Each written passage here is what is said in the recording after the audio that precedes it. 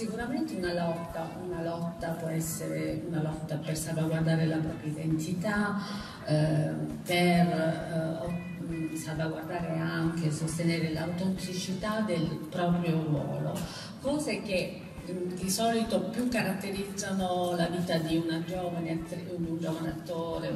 perché magari con l'età la cosa un po' eh, diminuisce.